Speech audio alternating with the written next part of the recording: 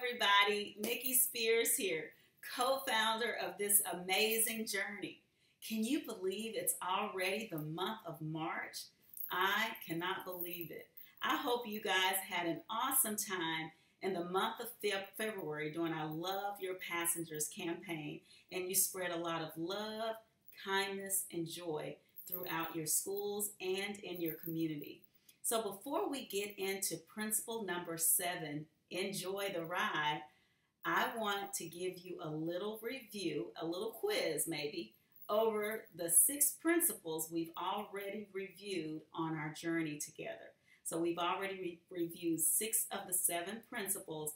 I'm going to give you a little quiz, and this is the way it's going to work. You don't have to do this alone. I want this to be a um, partner activity. So let's get together with a partner wherever you are in the room. Get together with a partner, and then we're going to work together to see if you and your partners know your six principles that we've reviewed on our journey so far. This is the way our quiz will work.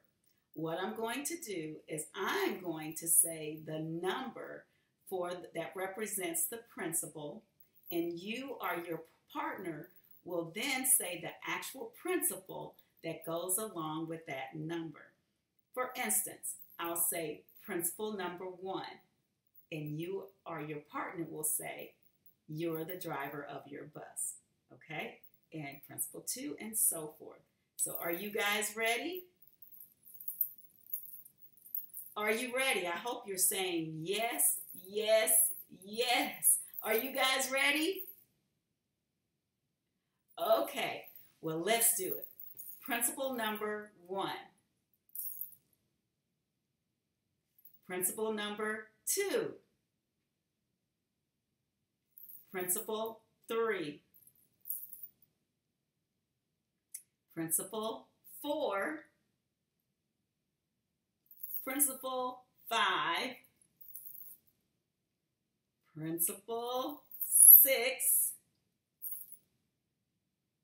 And now, principle seven. Everybody, enjoy the ride. Okay, hopefully you said principle one is you're the driver of your bus. Principle two, create a positive vision. Principle three, drive with purpose. Principle four, fuel your ride with positive energy. Principle five is transform negativity. Principle six is love your passengers. And finally, principle seven, enjoy the ride.